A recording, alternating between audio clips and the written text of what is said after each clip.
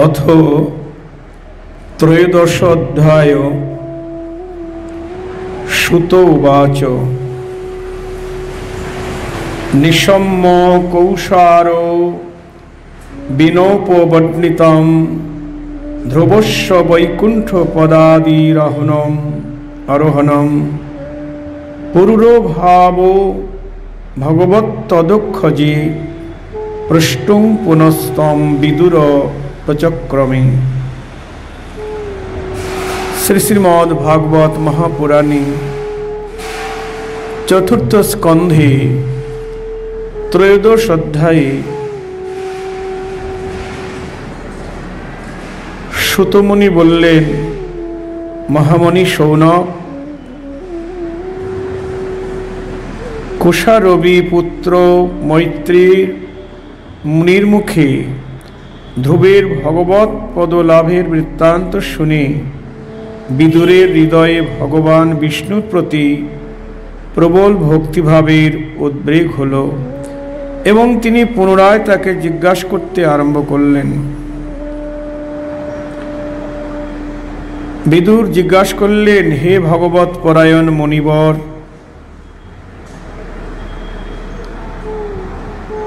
যে প্রচেতাদের যজ্ঞে দেবশ্রী নারদকৃত গানের উল্লেখ আপনি করলেন। সেই প্রচেতারা কি? তারা কার পুত্র ছিলেন? কার বংশে জন্মগ্রহণ করে তারা খ্যাতিলাভ করেছিলেন? তারা কোথায় বা যজ্ঞ করেছিলেন? শ্রী ভগবানের সর্বদা দর্শন লাভে কৃতার্থ।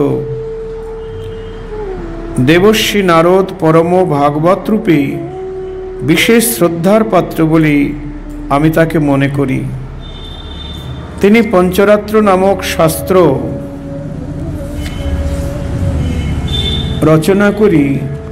শ্রীহরির পূজা পদ্ধতিরূপ ক্রিয়াযোগ উপদেশ করেছেন। প্রচেতাগণ স্বধর্ম আচরণে রত হয়ে যখন ভগবান যজ্ঞেশ্বরের আরাধনা করছিলেন সেই সময়ে ভক্তপ্রবণ নারদ ধ্রুবের গুণগান করছিলেন।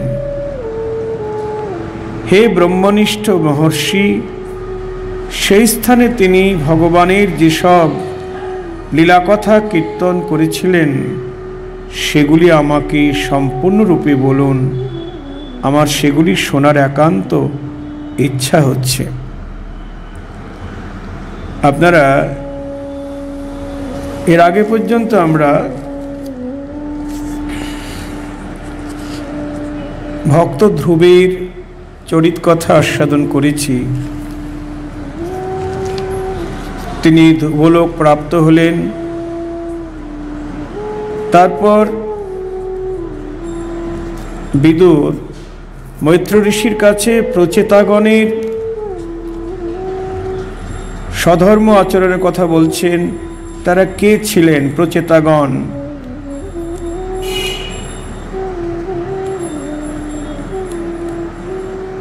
সেই সময় ভক্তপ্রবণ নারদ ধ্রুবের গুণগান করছিলেন প্রচেতাগণের কাছে। হে ব্রহ্মনিষ্ঠ মহর্ষি, সেই স্থানে তিনি ভগবানের যেসব লীলাকথা কীর্তন করেছিলেন, সেগুলি আমাকে সম্পূর্ণরূপে বলুন। বিদুর বলছেন, আমার সেগুলি শোনার একান্ত ইচ্ছা।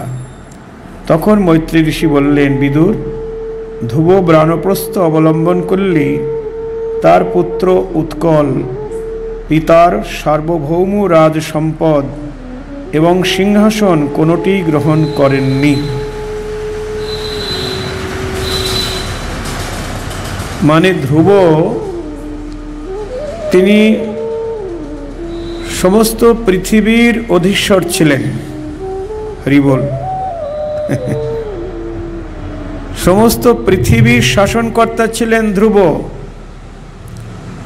তা তিনি রাজত্ব করবার আগেই তো ভগবানের পাদপদ্ম লাভ করেছেন, দর্শন করেছেন। তবু তার রাজসিংহাসনে বসার প্রথমে লালসা ছিল। সেই কারণে তাকে আবার সংসার করতে হলো। কিন্তু এমন শশাগড়া ধরনের অধীশ্বর হয়েও তিনি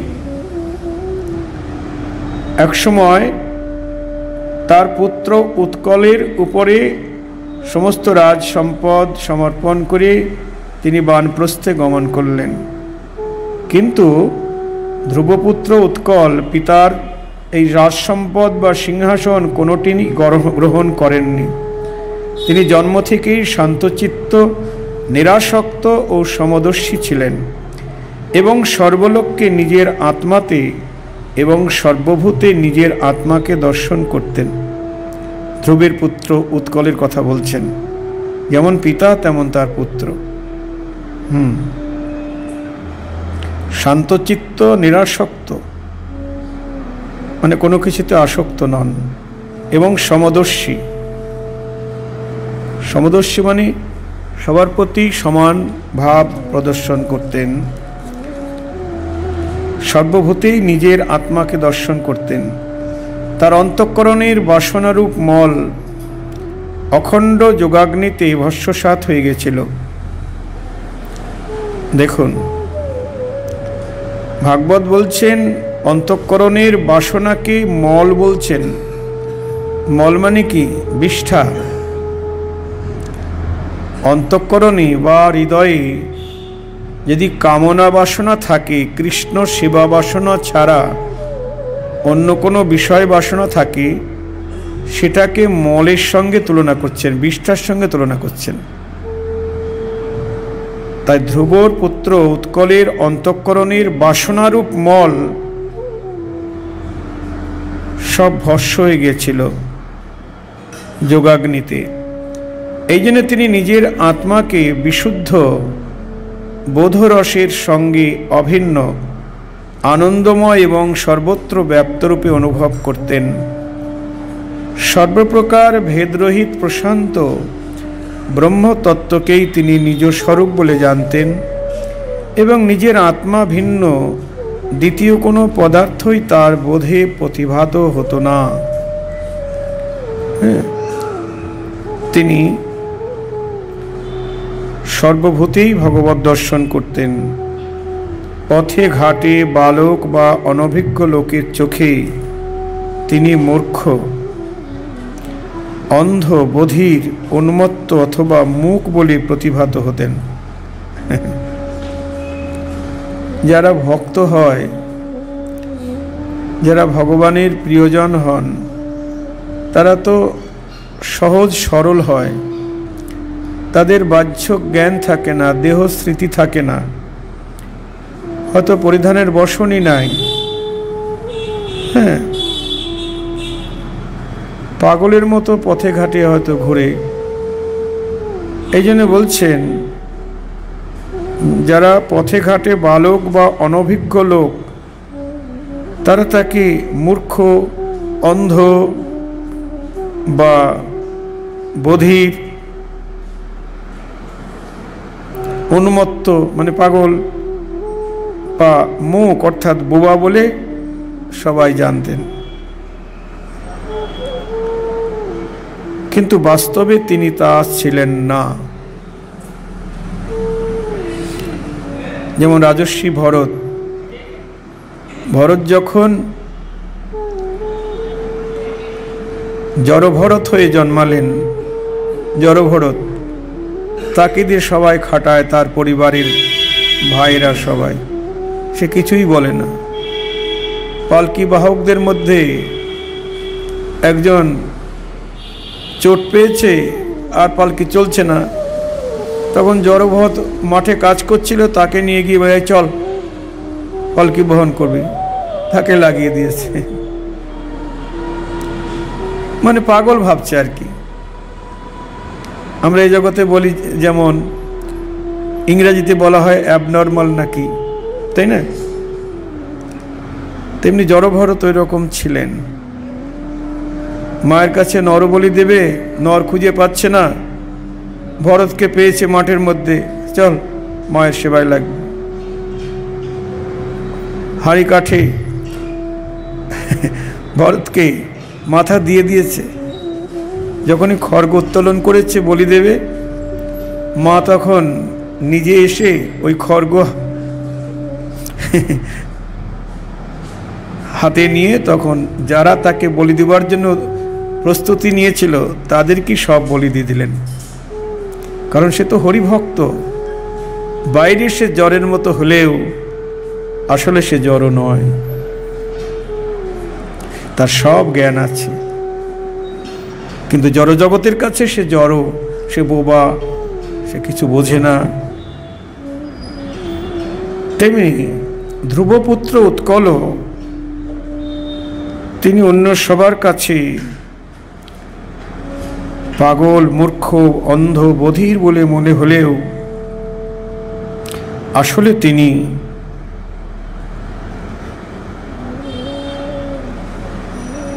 বাস্তবে তা ছিলেন না। অগ্নির শিখা ঊর্ধ্বমুখী না হলে যেমন সেই শান্ত অগ্নির স্বরূপ অনেক সময় বোঝা যায় না সেই রকম তারও স্বরূপ সাধারণের কাছে অপ্রকাশিতই থাকত। যেমন আগুনের শিখা যদি ঊর্ধ্বমুখে ওঠে, তখনই বোঝা যায়। কিন্তু ঊর্ধ্ব দিকে যদি আগুন না ওঠে এমনি আগুন জ্বলছে, দাবানল জ্বলছে। তেমনি ধ্রুব ওই রকম ছিলেন শান্ত। এই জন্য সবাই তাকে বুঝতে পারত না। এই কারণে কুলবৃদ্ধ ও মন্ত্রীগণ তাকে মূর্খ ও উন্মত্ত মনে করি। তার ছোট ভাই ভ্রমী, ভ্রমীর পুত্র বৎসরকে রাজপদে অভিষিক্ত করলেন। ধ্রুবপুত্র উৎকলের যারা মন্ত্রীতন্ত্রী ছিলেন, তারা তাকে বোবা, বোকা ইত্যাদি ভেবে তাকে তার কাছ থেকে রাজ সিংহাসন কেড়ে নিয়ে উৎকলেরই ভাই ভ্রমী তার পুত্রকে বৎসরকে রাজপদে অভিষিক্ত করলেন। বৎসরের প্রেয়সী ভার্যা সবৃদ্ধির গর্ভে পুষ্পান্ন দিগ্নকেতু ঈশ উজ্জ বসু এবং জয় নামে ছয়জন পুত্রের জন্ম হয়। পুষ্পান্নের প্রভা এবং দোষা নামে দুই পত্নী ছিলেন।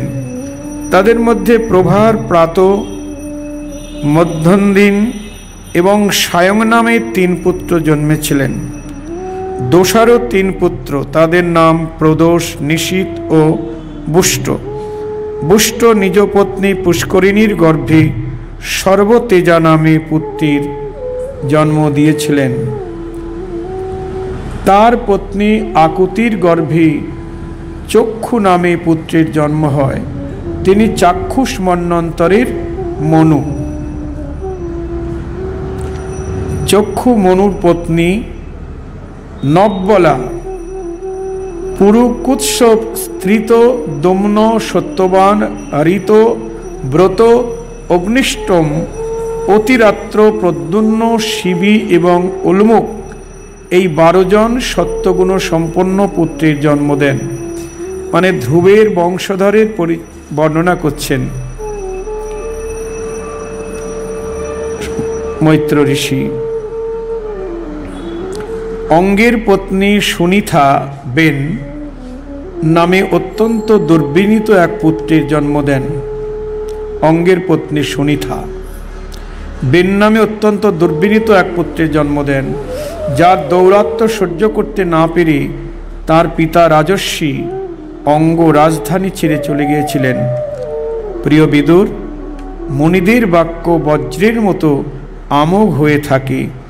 তারা কুপিত হয়ে বেনকে অভিশাপ দেন এবং তার ফলে তার মৃত্যু হলে অরাজক পৃথিবীতে প্রজাবিন্দ দস্যুদের দ্বারা অত্যন্ত অত্যাচারিত হতে থাকে।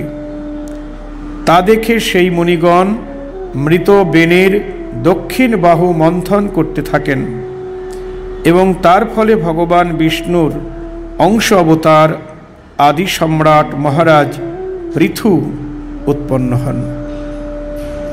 হ্যাঁ।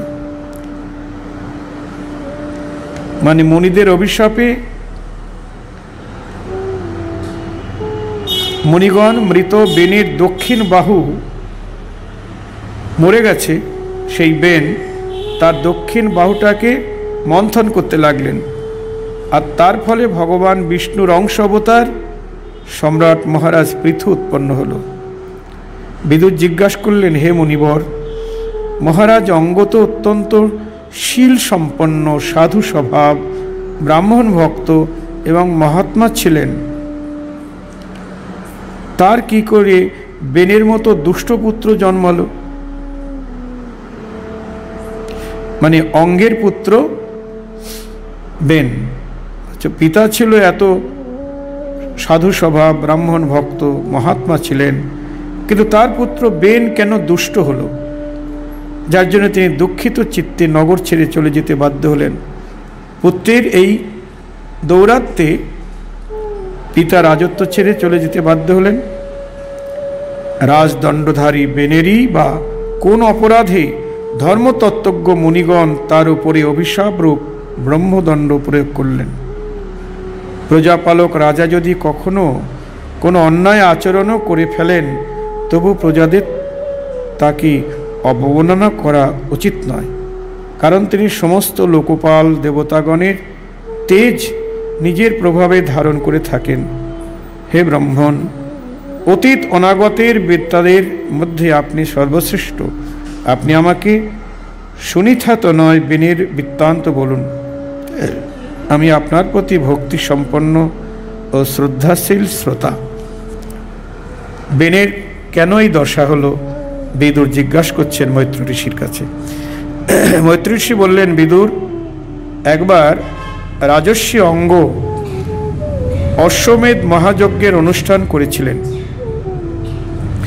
ধ্রুবের বংশধর রাজস্বী অঙ্গ অশ্বমেধ যজ্ঞ করেছিলেন। সেখানে ব্রহ্মবাদী পুরোহিতরা দেবতাদের আহ্বান করার সত্ত্বেও দেবতারা নিজেদের যজ্ঞভাগ গ্রহণ করার জন্য উপস্থিত হন নাই। পুরোহিতরা দেবতাদের আহ্বান করেছিলেন যজ্ঞে, কিন্তু দেবতারা যজ্ঞভাগ গ্রহণ করতে আসেননি। তখন ঋত্বিকগণ বিস্মিত হয়ে যজমান মহারাজ অঙ্গকে বললেন, মহারাজ আমরা যে সকল ঘৃত প্রভৃতি দ্রব্য আহুতি দিচ্ছি, দেবতারা তা গ্রহণ করছেন না। আমরা জানি যে আপনার হোম সামগ্রীতে কোনো রকম দোষ স্পর্শ ঘটেনি। আপনি অত্যন্ত শ্রদ্ধার সঙ্গে সে সকল আহরণ করেছেন। এখানে যে মন্ত্র পাঠ করা হচ্ছে, তাও বীর্যহীন নয়, কারণ সেগুলি যারা প্রয়োগ করছেন সেই ঋত্বিকরাজ যাজকোচিত সমস্ত নিয়মে পূর্ণ নিষ্ঠার সঙ্গে পালন করে থাকেন। আমরা মনে করি না যে এই যজ্ঞে দেবতাদের বিন্দুমাত্র অসম্মান বা অবহেলা ঘটেছে। যার জন্য সর্বসাক্ষী দেবতারা নিজেদের ভাগ গ্রহণ করবেন না। মৈত্র বললেন, ঋষি ঋত্বিকগণের কথা শুনে যজমান অঙ্গ অত্যন্ত দুঃখিত উদ্বিগ্ন হলেন। দেখুন, যজ্ঞ করতে গেলে সে সমস্ত যজ্ঞের যা কিছু দ্রব্য, সেগুলি শুদ্ধ হওয়া চাই, মন্ত্র শুদ্ধ হওয়া চাই। যারা মন্ত্র উচ্চারণ করবেন, তারাদেরও শুদ্ধাচারী হতে হবে। সব কিছুই শুদ্ধ চাই। তা যারা যজ্ঞে ঘৃতাহুতি দিচ্ছেন বা অন্যান্য দ্রব্য দিচ্ছেন, তারা বলছে, মহারাজ, সবই তো ঠিক আছে, মন্ত্রও ঠিক আছে, কিন্তু দেবতারা কেন গ্রহণ করতে আসছেন না? ঋত্বিকগণের কথা শুনে যজমান অঙ্গ অত্যন্ত দুঃখিত ও উদ্বিগ্ন হলেন। তিনি তখন যাজকগণের অনুমতি নিয়ে মৌন ত্যাগ করে সদস্যদের জিজ্ঞাসা করলেন, হে সদস্যবৃন্দ, এই যজ্ঞে যথাবিধি আবাহন করা সত্ত্বেও দেবতাগণ আগমন করছেন না বা সোমপাত্র গ্রহণ করছেন না। আপনারা বলুন, আমি কি অপরাধ করেছি, যার জন্য এরূপ ঘটছে? সদস্যগণ বললেন, হে মহারাজ, এই জন্মে আপনার সামান্যতম অপরাধও ঘটেনি। যাজকগণ বলছেন, এই জন্মে আপনার সামান্যতম অপরাধও ঘটেনি। কিন্তু পূর্বজন্মের এক অপরাধ অবশ্যই আছে। যার জন্যে আপনি এরূপ সর্বগুণ সম্পন্ন হয়েও এখনও পর্যন্ত নিঃসন্তান রয়েছেন। জয় রাধি। আপনার মঙ্গল হোক। আপনি প্রথমত একটি সুপুত্র লাভ করার জন্য উপযুক্ত ব্যবস্থা নিন। আপনি যদি পুত্র কামনায় যজ্ঞ করেন, তাহলে যজ্ঞেশ্বর আপনাকে অবশ্যই পুত্র প্রদান করবেন। সন্তান কামনায় সাক্ষাৎ যজ্ঞ পুরুষ শ্রীহরিকে আহ্বান করলে দেবতারা নিজেরাই এসে নিজ নিজ যজ্ঞভাগ গ্রহণ করবেন। ভক্ত যে যে বস্তু কামনা করেন, শ্রীহরি তাকে তাই প্রদান করেন। তাকে যেমনভাবে আরাধনা করা যায়, উপাসকের ঠিক সেই রকমই ফল লাভ হয়ে থাকে। এইভাবে রাজা অঙ্গের যাতে পুত্রলাভ হয়, সেই উদ্দেশ্যে ঋত্বিকগণ শিপিবিষ্ট বিষ্ণু মানে পশুগণের মধ্যে যজ্ঞরূপে প্রবিষ্ট বিষ্ণু, দেবতাকে পুরুডাস নামক চরু দ্বারা যাজন করলেন। যজ্ঞাগ্নি যোগাগ্নিতে আহুতি দেওয়া মাত্রই সেই অগ্নিকুণ্ড থেকে স্বর্ণমাল্যধারী শুভ্র বস্ত্র পরিহিত এক পুরুষ অন্থিত হলেন। তার হাতে ছিল পক্ক পায়সান্ন, সমন্বিত একটি স্বর্ণপাত্র।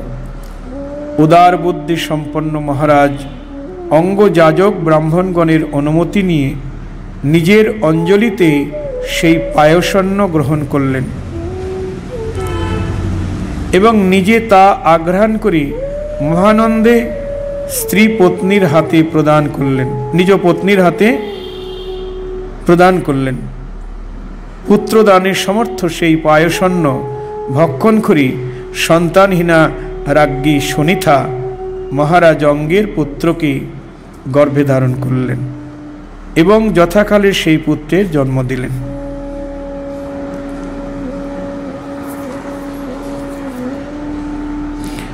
সেই পুত্র কিন্তু বালক বয়স থেকেই অধর্মের বংশে জাত নিজের মাতামহ মৃত্যুর অনুগমী হল।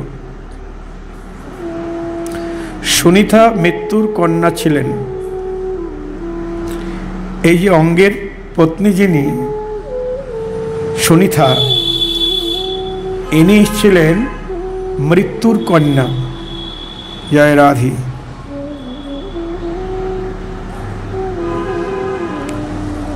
ফলে সে অত্যন্ত অধার্মিক হয়ে উঠল।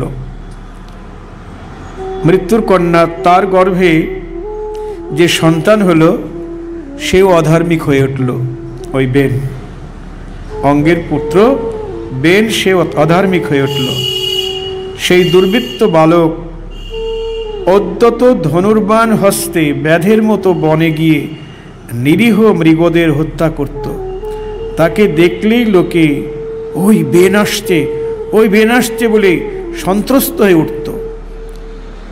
সে এমন ক্রূর প্রকৃতি এবং নির্দয় ছিল যে, খেলার মাঠে ক্রীড়ারত নিজের সমবয়সী বালকদের উপর পশুর মতো বল প্রয়োগে হত্যা করত।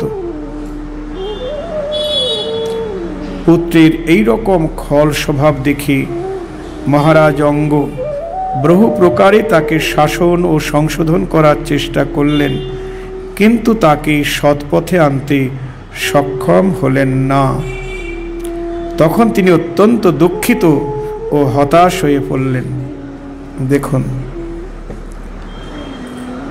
রাজা অঙ্গ, তিনি সত্যাশ্রয়ী, তিনি ধার্মিক, তিনি সত্যনিষ্ঠ, তিনি ব্রাহ্মণ, গণের হিতাকাঙ্ক্ষী, তিনি ভক্ত, অথচ তার ঔরসে জন্মালো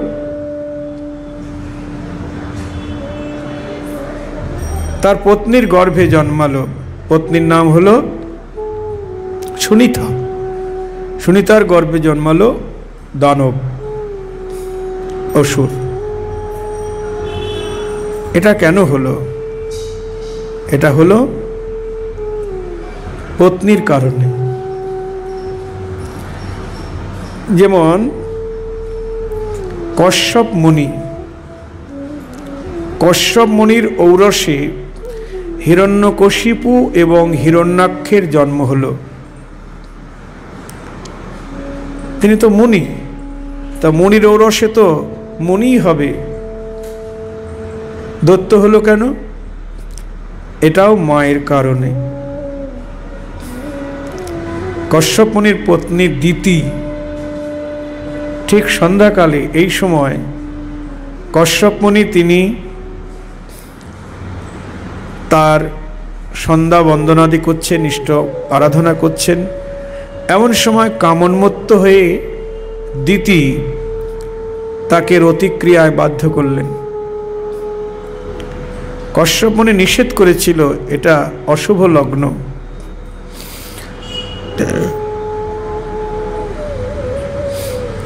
কিন্তু দিতি কোনো রকম তার কথা শুনলেন না। এতই উন্মত্ত হয়ে গেল, তাকে রতিক্রিয়ায় বাধ্য করলেন।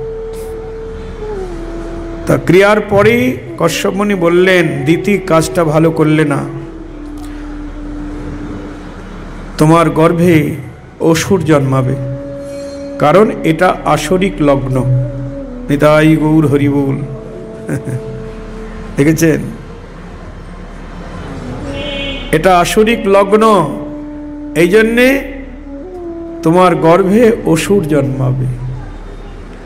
এখন তো বিজ্ঞানের যুগ বিজ্ঞান কি যুক্তি দেবে জানি না। মনির ঔরসে কি করে অসুর হয়?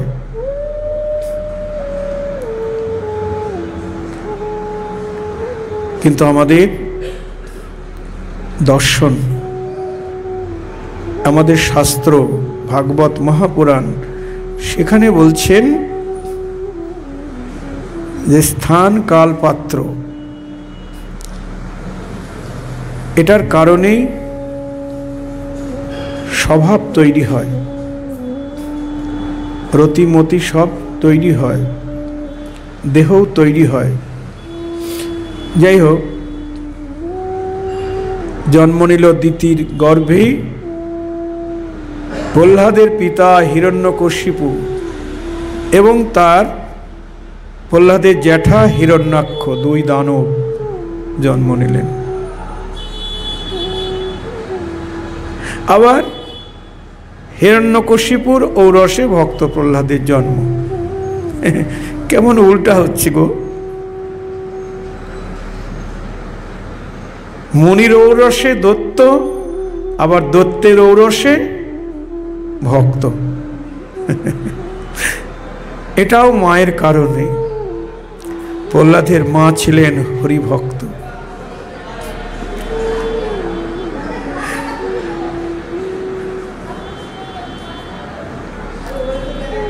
তার সনিথা ছিলেন মৃত্যুর কন্যা। অঙ্গের পত্নী সনিথা মৃত্যুর কন্যা ছিলেন আর তার গর্ভে জন্মালো বেন। আর এই মাতার কারণেই তিনি এই আসরিক স্বভাব পেলেন। জয় রাধি। তাই রাজা অঙ্গ পুত্রকে অনেক সংশোধন করবার চেষ্টা করলেন, কিন্তু সে সংশোধন হলো না। তাই রাজা অত্যন্ত দুঃখিত হলেন। তিনি নিজের মনেই ভাবতে লাগলেন, যে সকল গৃহস্থ নিঃসন্তান তারা অবশ্যই পূর্বজন্মে বিশেষভাবে দেবতার আরাধনা করে থাকবে। রাজা অঙ্গ ভাবছেন মনে মনে যে যারা নিঃসন্তান, তারা অনেক আরাধনা করেছে ভগবানের। তার কারণে তারা নিঃসন্তান হয়েছেন। কিন্তু এই জগতে এটা কেউ বলবে গো? যাদের সন্তান হয় না, তাদের কি বলে? কি বলে যেন? হ্যাঁ? বন্ধা। ওদের মুখ দেখতে নাই গো, আমাদের অমঙ্গল হবে, বন্ধা। কিন্তু মহারাজ অঙ্গ বলছেন যে যারা নিঃসন্তান, তারা পূর্বজন্মে বিশেষভাবে দেবতার আরাধনা করে থাকবে। সেই কারণেই তাদের কুপুত্রের কদাচারজনিত দুঃসহ দুঃখ সহ্য করতে হয় না। যার আচরণের ফলে মাতা পিতার সমস্ত সুখ সম্মান ধুলিতে মিশিয়ে যায়। তাদের গুরুতর অধর্মের ভাগী হতে হয়। সকলের সঙ্গে বিরোধ সৃষ্টি হয়। অনন্ত প্রকারের মানসিক ক্লেশ সহ্য করতে হয় এবং গৃহ দুঃখদায়ক হয়ে ওঠে। সেই নামমাত্র পুত্রের অন্য কোন বুদ্ধিমান পুরুষ আগ্রহ বা কামনা পোষণ করবে? পুত্রের আচরণে এত ব্যথিত হয়েছেন, এত দুঃখিত। পিতা, নিঃসন্তান হলে আমি ভালো থাকতাম।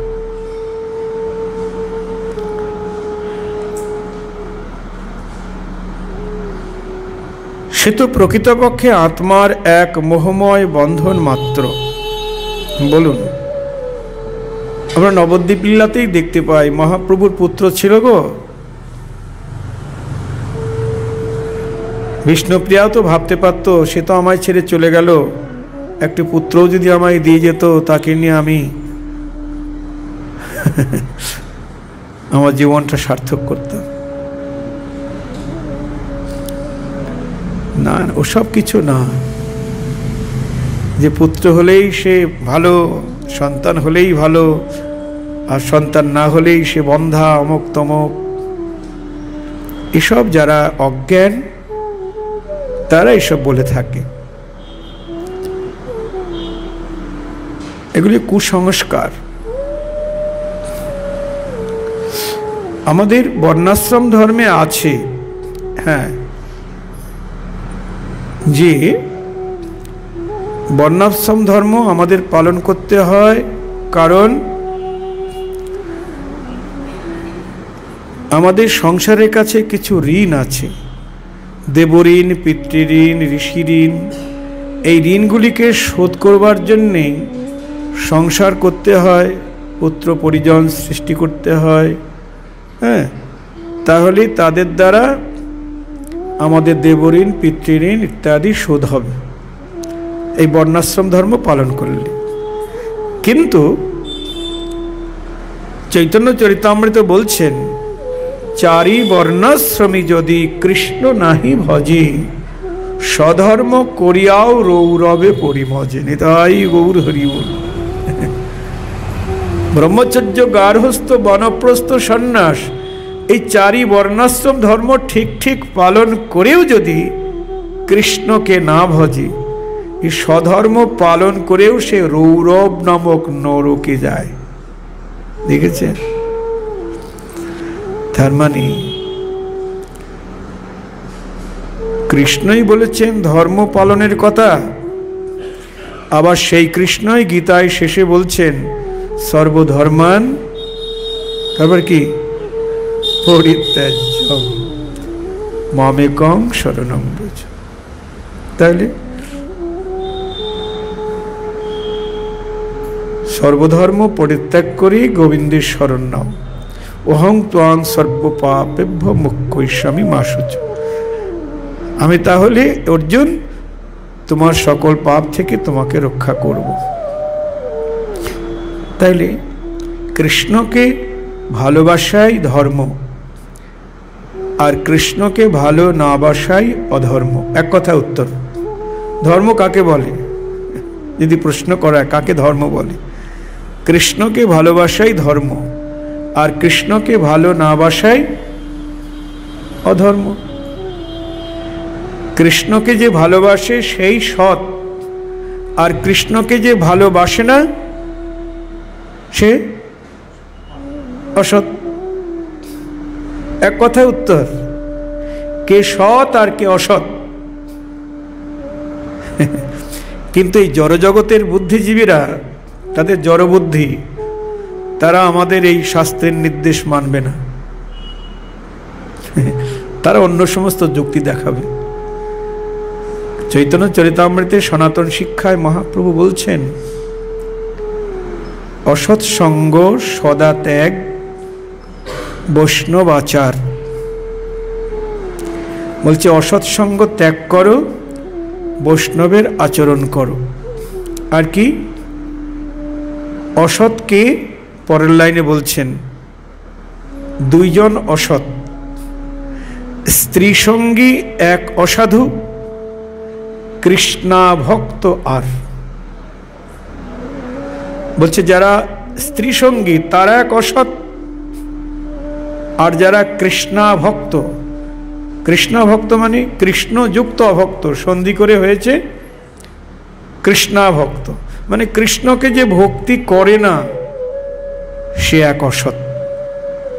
দেখেছেন? কৃষ্ণকে যে ভালোবাসে না, সে অসৎ। আর স্ত্রী সঙ্গী কাকে বলছেন? প্রশ্ন হতে পারে, মহাপ্রভুর ভক্ত যারা, তারা তো অধিকাংশই তাদের স্ত্রী ছিল, তাই না? সেবাস পণ্ডিত অদ্বৈত আচার্য সেন শিবানন্দ রায় ভবানন্দ তাহলে এরা অসৎ হয়ে যাচ্ছে, তা তো হতে পারে না। স্ত্রী সঙ্গী মানে যারা অবৈধভাবে স্ত্রী সঙ্গে থাকেন। বলছেন, পুত্রত্বে ক্রিয়তে ভার্যা। কেবল পুত্র লাভের জন্য স্ত্রী সঙ্গ করবে। এছাড়া নয়। অবৈধভাবে বলছে, নিজ স্ত্রীতেও যদি, নিজ স্ত্রীতেও যদি কেউ বেশি আসক্ত হয়, তাহলেও সে স্ত্রী সঙ্গী। তাহলে কৃষ্ণকে যে ভক্তি করে না, সে কি? অসৎ। এবার আপনারা বুঝে নিন যে কে সৎ আর কে অসৎ। এই যে আমরা সৎসঙ্গ সৎসঙ্গ বলি না? হ্যাঁ? সৎসঙ্গ, সাধুসঙ্গ সাধুসঙ্গ বলি। সাধুসঙ্গ সাধুসঙ্গ সর্বশাস্ত্রে কয়, লবমাত্র সাধুসঙ্গ সর্বসিদ্ধি হয়।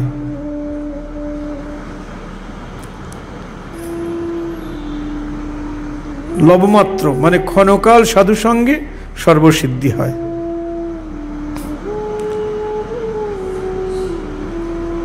তাহলে ওইটা একটাই কথা, যে কৃষ্ণকে ভালোবাসে সেই সৎ, আর যে কৃষ্ণকে ভালোবাসে না, তেত্রিশ কোটি দেবতার পূজা করলেও সে অসৎ। বাসুদেবং পরিত্যাজ্যম, যো অন্য দেবম উপাসতে, ত্যক্তামৃতম সমুরাত্মা ভুমতে হলাহলম। দেখেছেন? পুরাণ বলছেন যে বাসুদেব অর্থাৎ কৃষ্ণকে পরিত্যাগ করে যারা অন্য দেবতার পূজা আরাধনা করে, তারা অমৃতকে পরিত্যাগ করে বিষ ভক্ষণ করে।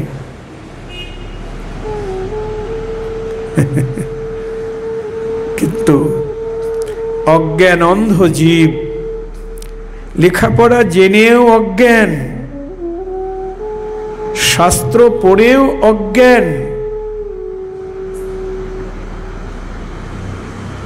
আমাদের নরোত্তম ঠাকুর প্রেম ভক্তি চন্দ্রিকায় বলছেন সাধু সাবধান। কীভাবে সাবধান করছেন?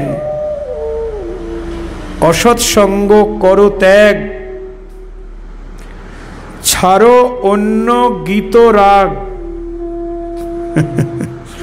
অন্য গান বাজনা সব ত্যাগ করতে বলছে। জয় রাধি। আমরা তো গান, সুর শুনলেই পাগল হয়ে যাই। ও জামাইবাবু আর যাব না রথের মেলাতে। আহা, কি সুন্দর গাইল গো। হ্যাঁ? ট্যাংরা তবু কাটন যায় না, কি সব গায় না?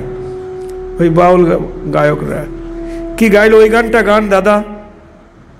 বলুন। এসব গান শোনা, গাওয়া উচিত নয়। অসৎসঙ্গ করো ত্যাগ, ছাড়ো অন্য গীত রাগ যে গানের মধ্যে গৌর গোবিন্দের কথা নাই, সে গান যতই ভালো হোক না কেন শুনব না। কাহার সরঞ্জীব করে অনুক্ষণ, কৃষ্ণ নাম গুণ লীলা, জীবের প্রধান স্মরণ, নিতাই গৌর হরি বল। ঠাকুর মশাইতে বলছেন, অসৎসঙ্গ করো ত্যাগ, ছাড়ো অন্য গীতরাগ জ্ঞান কর্ম পরিহরি দূরে, কর্মকাণ্ড জ্ঞানকাণ্ড দূরে পরিত্যাগ করো। ওই সঙ্গ থেকে দূরে থাকো, জ্ঞানকাণ্ড, কর্মকাণ্ড। কর্মকাণ্ড মানে বেদাচার জনিত যে ধর্মকর্ম, এটা কর্মকাণ্ড বলে। এটার থেকে দূরে থাকবে জ্ঞানমার্গের সাধক যারা, নিরাকার, নির্বিশেষ, ব্রহ্মবাদী, তাদের থেকেও দূরে থাকতে বলছেন। জ্ঞানকাণ্ড, কর্মকাণ্ড, এসব দূরে পরিহরি। করহ ভকত সঙ্গ। প্রেম কথা রসরঙ্গ লীলা কথা ব্রজ রসপুরে দেখেছেন? ভক্ত সঙ্গ করতে বলছেন। কোন ভক্ত সঙ্গ? প্রেম কথা রসরঙ্গ লীলা কথা ব্রজ রসপুরে হরি বল। আবার ভক্ত সঙ্গের মধ্যে ভক্ত তো অনেক রকম আছে গো। হ্যাঁ? দেবতার ভক্ত, এছাড়া কৃষ্ণের ভক্তও আছে অনেক। যেমন দ্বারকা মথুরার যারা ভক্ত, দ্বারকা মথুরার কৃষ্ণকে ভজন করে, ঈশ্বর জ্ঞানী। বৈকুণ্ঠে নারায়ণ কি, অনেক রকম ভক্ত আছে না? না। কোন ভক্ত সঙ্গ করবে? ঠাকুর মশাই বলছেন, করহ ভকত সঙ্গ প্রেম কথা রসরঙ্গ লীলা কথা ব্রজ রসপুরে। ব্রজের লীলা কথা, ব্রজের লীলা কথা যারা কীর্তন করছেন, তাদের সঙ্গ করো। অন্য কোনো ভক্ত সঙ্গ নয়। দেখেছেন? কত সাবধানতা অবলম্বন। যদিও আমরা ভাগবতে এটা আস্বাদন করছি। ঠাকুর মহাশয় বলছেন, মধ্যস্থ ভাগবত পুরাণ। নববিধা ভক্তি অঙ্গের রাগ ভক্তিতেও নববিধা ভক্তি অঙ্গের যাজনের কথা বলা আছে। সাধন নববিধ ভক্ত মানে বাইরের সাধকদের শ্রবণ কীর্তনাদি নববিধা ভক্তি অঙ্গের যাজন আর মনে নিজ সিদ্ধ দেহ করিয়া ভবন, ব্রজে রাধাকৃষ্ণ চিন্ত হয়ে অন্তর্মন। দেখেছেন, ভক্ত সঙ্গের মধ্যেও কত সাবধানতা অবলম্বন।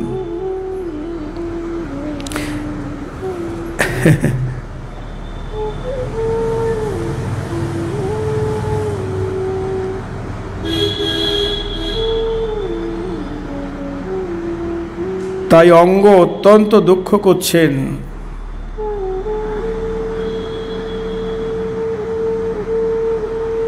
সুপুত্র অপেক্ষা, কুপুত্রকেই বরং কাম্য বলে মনে করতে পারি, কারণ সুপুত্রকে ছেড়ে ও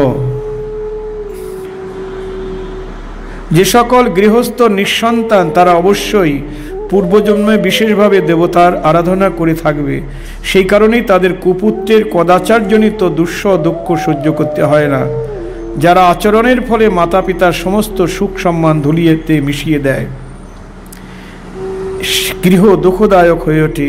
সেই নামমাত্র পুত্রের জন্য কোন বুদ্ধিমান পুরুষ আগ্রহ বা কামনা পোষণ করবে? সে তো প্রকৃতপক্ষে আত্মার এক মোহময় বন্ধন মাত্র। আবার অন্যদিকে দেখলে, এখানে পঁয়তাল্লিশ সংখ্যক শ্লোকে বলছেন, কস্তুম প্রজাপতি সংবই মক্ষ বন্ধনম আত্মনম পণ্ডিত বহু মন্বিত যদার্থা ক্লেশদা গৃহা।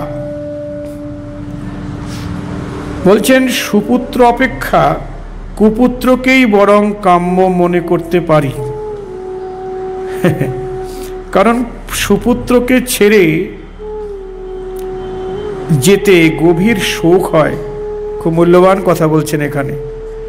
সুপুত্রকে ছেড়ে যেতে গভীর শোক হয়, কিন্তু কুপুত্র গৃহকে ক্লেশপূর্ণ নরকে পরিণত করে। সুতরাং মানুষ সহজেই তার থেকে মুক্তির পথে চলে যেতে পারে। জয় রাধে। তাই তো কুপুত্র কামনাই করাই ভালো নাকি? সুপুত্রের প্রতি মোহ জন্মাবে, ছেড়ে যেতে পারব না। কিন্তু কুপুত্র হলে এই যে রাজা অঙ্গ তাকে ছেড়ে চলে গেলেন।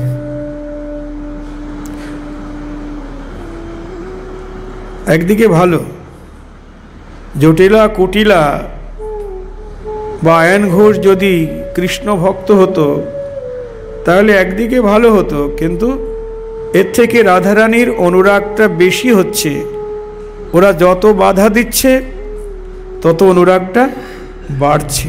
জয় নিতায় যেমন স্রোতস্বিনী নদী প্রবল বেগে ধেয়ে চলেছে, সাগরে মিলিত হবে। কিন্তু স্রোতের মুখে যদি একটি বাঁধ দেওয়া যায়, তাহলে কি হয়? স্রোতের বেগটা প্রবল হয়। যদি একবার বাঁধ ভাঙতে পারে না, একবার দুর্বার গতিতে ধেয়ে যাবে। তেমনি রাধারানীর কৃষ্ণ অনুরাগের স্রোত বয়ে চলেছে। সখীগণ মাঝে মধ্যে তাকে বাধা দিচ্ছে। মধ্যাহ্নকালীন লীলায় রাধারানী বলছে, সখী, আমার পরাণবধূর বাঁশি বাজছে, শুনতে পাচ্ছিস? আমাকে যে যেতেই হবে আমার বধুর কাছে। সখীরা বলছেন, তোর কীরকম সাহস? এই দুপুরবেলায় বাদিনীর ঘরে থেকে কি করে বার হবে? এ আশা ত্যাগ কর। বাধা দিচ্ছেন। তাহলে কি সখীরার তার ভজনের বিরোধী? না। রাধারানী কাঁদছেন আর বলছেন, সখী, আমাকে যেতেই হবে। যদি আজ গোবিন্দ দর্শনে যেতে না পারি, তাহলে এ প্রাণ আমি রাখব না। এ প্রাণ ত্যাগ করব। তখন সখীরা বলছেন, ছি ছি, তাই অমল অলক্ষণের কথা বলতে হয়। আচ্ছা আমরা দেখছি কি করা যায়। একজন বলছে, তুই এক কাজ কর। অঘটন, ঘটন পটীয় শ্রী যোগমায়াকে স্মরণ কর। হ্যাঁ দেখুন। আবার ওরাই বাধা দিলেন, ওরাই আবার উপায় বলে দিচ্ছেন। রাধানীকে কাঁদাচ্ছেন। কেন গো? এ তো কাঁদা নয় গো, গোবিন্দ বাঁধা। যত কাঁদবে তত নিকট হবে।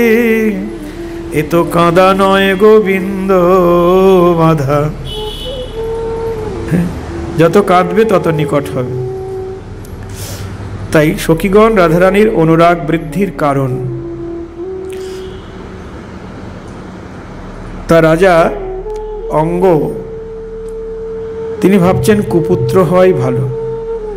যদি সুপুত্র হতো, তাহলে তো ওকে ছেড়ে যেতে পারতাম না, মায়ায়। এই কুপ, সুপুত্র হলে যেতে পারতাম না, মায়ায়।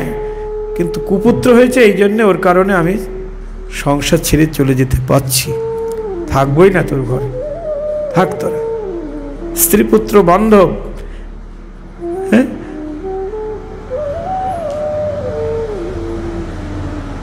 অবশ্য আমাদের শাস্ত্র বলছেন যে তিন পুত্র সঙ্গে ভজে সেন শিবানন্দ, পঞ্চপুত্র সঙ্গে ভজে রায় ভবানন্দ।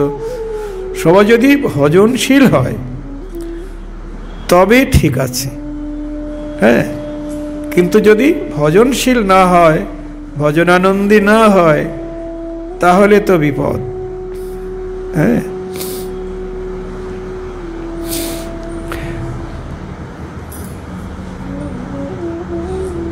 যেমন দেবশ্রী নারদ তার পূর্বজন্ম বলতে গিয়ে তিনি বলেছিলেন, আমার মা আমাকে এত স্নেহ করেন, এত ভালোবাসে কি মায়ের মায়া কিছুতেই ছাড়তে পারছি না। ঠাকুর, আমি মায়া কি করে ত্যাগ করব? তো হঠাৎ একদিন আমার মা গাভী দহন করতে গেছে আর সর্প এসে মাকে দংশন করিল। মা তো চলে গেলেন। ভাবলাম, প্রভু তুমি আমার কথা শুনেছ। এবার আমি মুক্ত হয়ে গেলাম। দেখুন তাহলে নারদ মায়ের মৃত্যু কামনা করছেন না? মায়ের মায়ের মায়ার স্নেহ বন্ধন থেকে মুক্তি পাওয়ার জন্যে তিনি এটা বলছিলেন। এই কামনাটা কেন জন্মেছিল? তিনি দাসীপুত্র হয়েও মনি ঋষিদের হরিভক্তের প্রসাদ চরণামৃত খেয়েছিলেন। তাই মায়ের বন্ধন থেকে মুক্তি পাওয়ার তার বাসনা জন্মেছিল। নিতাই গৌর হরি বল, সবারই বাসনা হয় না। হ্যাঁ গো, অনেকে বন্ধনে আরও আবদ্ধ হয়ে পড়ছে। একটা বাড়ি আছে না, দুটো, পাঁচটা, টাকা কোথায় রাখব? করো। পাঁচটা বাড়ি কর। জমি কিনেই যাচ্ছে, কিন্তু কিছুই তো সঙ্গে যাবে না গো। এই কয়েকদিনের জন্য এত, এই সময়টুকু যদি হরিভজনে এ দেহ মন প্রাণ লাগানো যেত। কিন্তু ওই যে পারব্ধ, জন্মদাতা পিতা নারী পারব্ধ খণ্ডাইতে, যার যেটা পারব্ধ আছে তাতে সেটাকে ভোগ করতেই হবে।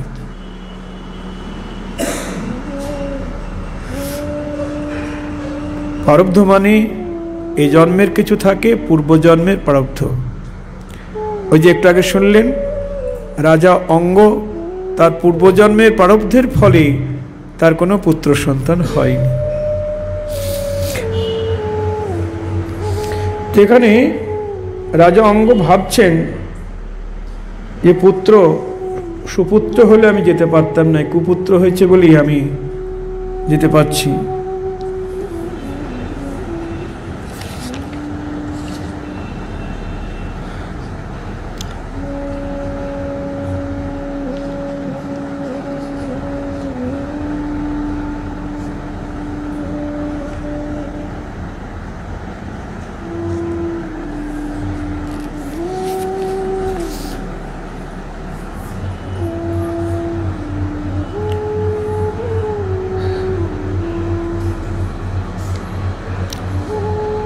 কিন্তু কুপুত্র গৃহকে ক্লেশপূর্ণ নরকে পরিণত করে, সুতরাং মানুষ সহজে তার থেকে মুক্তির পথে চলে যেতে পারে।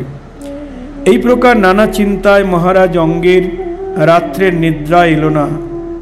সংসার সম্পর্কে তার মনে গভীর বিরাগ জন্মেছিল। তিনি অর্ধরাত্রে শয্যা ত্যাগ করে উঠলেন এবং তার মহিষী বেন, জননী তখন গভীর নিদ্রায় আচ্ছন্ন। মধ্যরাত্রিতে উঠে দেখলেন তার পত্নী, বেনের মা সুনিথা গভীর নিদ্রায় আচ্ছন্ন। রাজার মনে কারোর জন্যই আর কোনো মোহ ছিল না। পত্নীর প্রতিও মোহ ছিল না, পুত্রের প্রতিও মোহ ছিল না।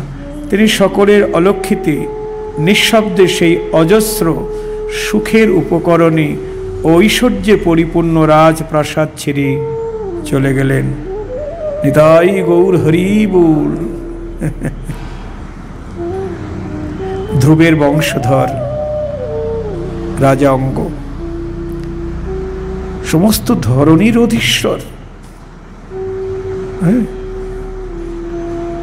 চলে গেলেন। মহারাজ সংসারের প্রতি বিরাগগ্রস্ত হয়ে গৃহত্যাগ করেছেন জেনে তার প্রজাবৃন্দ, পুরোহিত, মন্ত্রী এবং সুহৃদগণ সকলে অত্যন্ত শোকাকুল হয়ে সারা পৃথিবীতে তার অন্বেষণ করতে লাগলেন। কোথায় গেছেন সবাই মিলে খুঁজছেন। যেমন যোগ সাধনার যথার্থ রহস্য সম্পর্কে অনভিজ্ঞ ব্যক্তি নিজের অন্তরতর গোপনবাসী পরমপুরুষকে বাইরে অনুসন্ধান করে। বিদুর, বহু অন্বেষণ করেও তারা রাজার কোনো সন্ধান, সূত্র আবিষ্কার করতে না পেরে হতোদ্যম হয়ে রাজধানীতে ফিরে এসে সেখানে সমবেত ঋষিবৃন্দকে প্রণাম করে শাস্ত্র নয়নে নিজেদের প্রভুর এই অমঙ্গল সূচক নিরুদ্দেশ সংবাদ নিবেদন করলেন।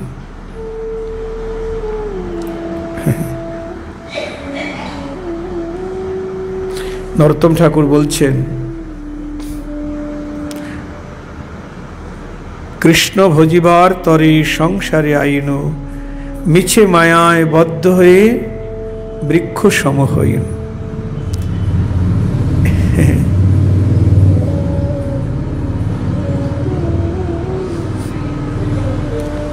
এই দুর্লভ মানব জনম, এটা গোবিন্দ ভজনের জন্যে।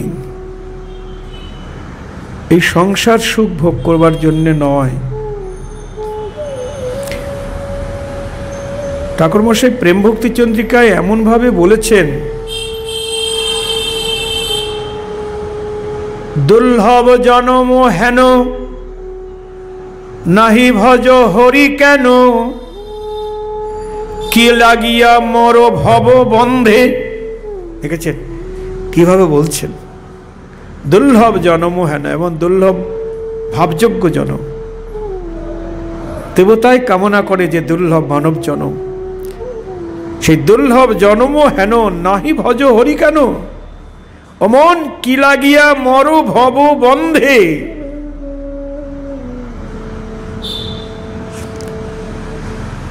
ছাড়ন্য ক্রিয়াকর্ম, যত ক্রিয়াকর্ম আছে সব ছাড়ো। ছাড়ন্য ক্রিয়াকর্ম, নাহি দেখো বেদ ধর্ম ভক্তি কর কৃষ্ণ পদদ্বন্দ্বে কৃষ্ণের যুগল চরণে ভক্তি করো। সব ক্রিয়াকর্ম ছেড়ে দাও। বেদাচারজনিত ধর্মকর্ম সব ছাড়ো। কি হবে? সেই গোপী ভাবামৃতি যার লোভ হয়, বেদ ধর্ম লঙ্ঘি সে কৃষ্ণকে ভজায়। নিদাই গৌর হরি বল। সময় নাই গো, খুব সময় কম আমাদের। হ্যাঁ? তাই বেদাচার্যরিত সর্বধর্ম কর্ম ত্যাগ করো। করি রাগমার্গে রাগানুগা মার্গে। রোজে কৃষ্ণকে ভজন করো। বিষয়ে বিষম গতি, নাহি ভজ ব্রজপতি। নন্দের নন্দন সুখ সার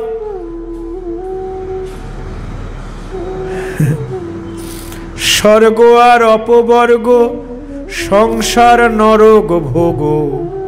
সর্বনাশা জনম বিকার। সমস্ত ধর্মকর্মের ফল হলো স্বর্গ। স্বর্গ তো ভালো জায়গায় নয়। ওখানেও মদ্যপান আছে, ওখানেও নৃত্যগীত আছে। এটা ভোগের রাজত্ব। তাই সর্বনাশা জন্ম বিকার। দেহে না করিও আস্থা, মরিলে দেহে কি অবস্থা?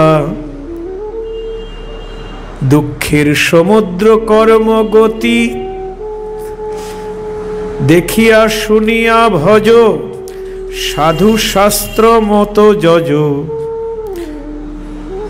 যুগল চরণে কররতি কর্মকাণ্ড, জ্ঞানকাণ্ড, সকলই বিষের ভাণ্ড। অমৃত বলিয়া যে বা খায়, নানাজনই ভ্রমণ করে কদর্য ভক্ষণ করে। তার জন্ম অধপাতে যায়। নিতাই গৌর হরি রাধা কৃষ্ণে নাহি রতি, অন্য দেবে বলে পতি। দেখেছেন? কি বলছেন? রাধা কৃষ্ণে নাহি রতি, অন্য দেবে বলে পতি। প্রেম ভক্তি রীতি নাহি জানে, নাহি কো ভক্তির সন্ধান, ভরমে করয়ে ধ্যান, বৃথা তার সেসব ভাবনে।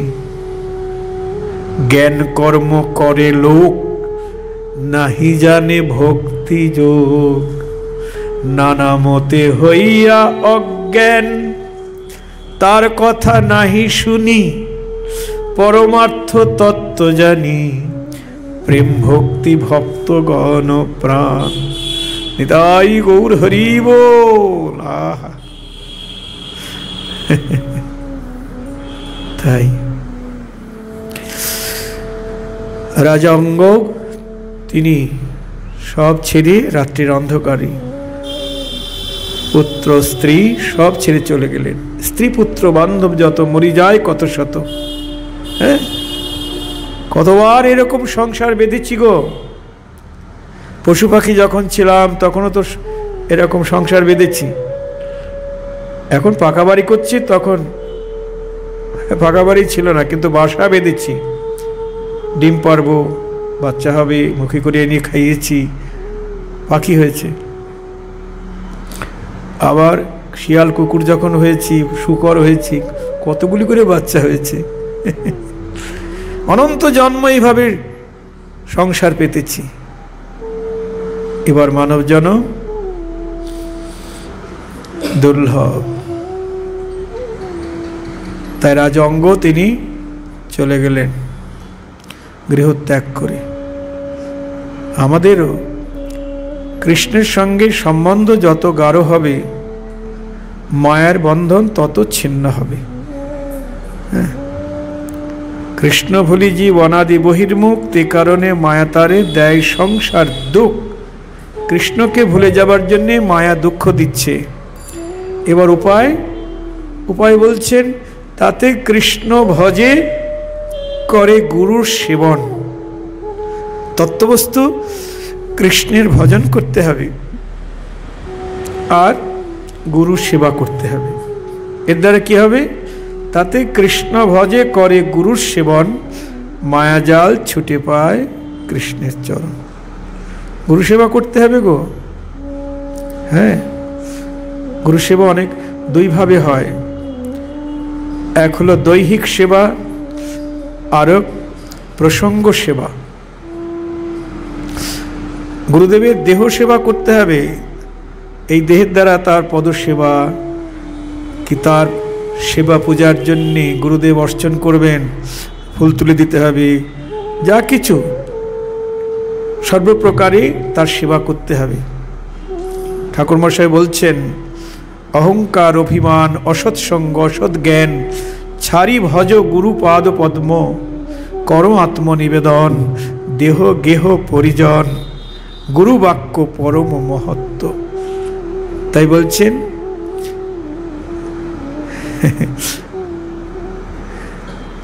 এর দ্বারাই সংসার বন্ধন ছিন্ন হবে, কৃষ্ণচরণ প্রাপ্তি হবে।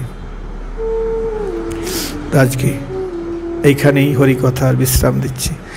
শ্রী গুরুনিতাই গৌর সীতানাথ।